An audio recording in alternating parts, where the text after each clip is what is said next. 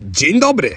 Z tej strony Piotr Bernat ze Smartech i witam Cię w pierwszym odcinku naszej nowej serii klipów pod tytułem Tips and Tricks from Smartech 3D. Jest to seria filmów informacyjnych, które pomogą Ci zgłębić tajemnicę pomiaru bezdotykowego. Ułatwią Ci zrozumienie, co jest kluczowe przy wyborze skanera, czym się kierować oraz jak dopasować skaner do Twoich potrzeb. Wśród ofert dostępnych na rynku znajdziesz skanery o różnych zmiennych takich jak rodzaj światła, rozdzielczość detektora, dokładność czy objętość pomiarowa systemu.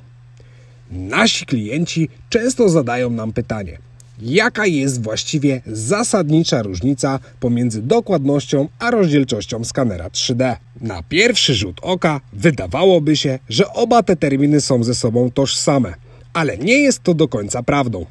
Zrozumienie różnicy pomiędzy rozdzielczością a dokładnością systemu pomiarowego ułatwi Ci podjęcie decyzji, jakiego skanera 3D właśnie potrzebujesz. Przejdźmy zatem do definicji. Jak wiemy, każdy model 3D to tak naprawdę chmura składająca się z kilkuset do nawet kilku milionów punktów pomiarowych.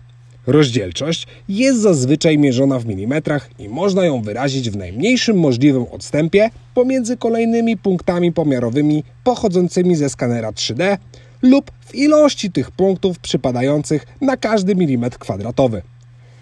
Dlatego właśnie im wyższa rozdzielczość, a więc odległość między punktami staje się coraz mniejsza, tym więcej tych punktów otrzymujemy, aby odwzorować dany model, co przekłada się na pozyskanie większej ilości szczegółów samego obiektu. Co w przypadku dokładności? W przypadku, kiedy rozdzielczość określa nam ilość pozyskanych punktów w danej objętości i dystans pomiędzy nimi, tak dokładność jest parametrem, który mówi nam, jak pozyskane punkty opisujące powierzchnię modelu odnoszą się w rzeczywistości do skanowanego obiektu.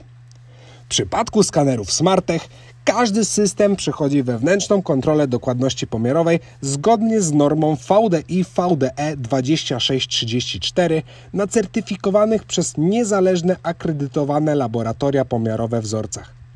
Daje to pewność obiektywnych i wiarygodnych referencyjnych wyników.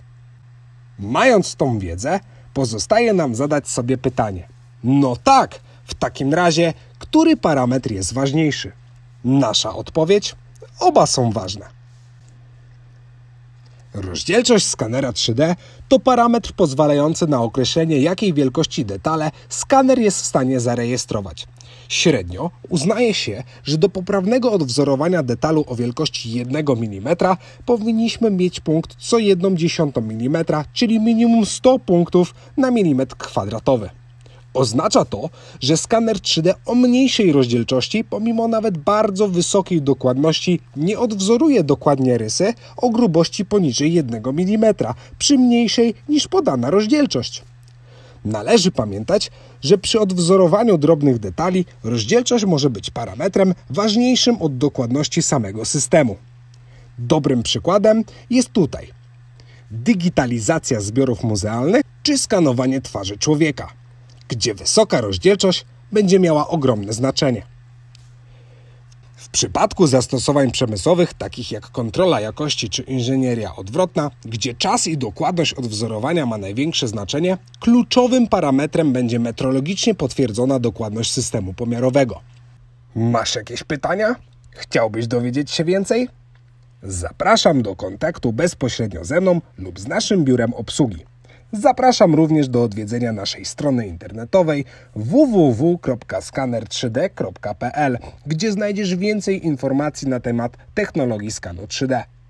Dziękuję za Twoją uwagę i do usłyszenia w kolejnym odcinku.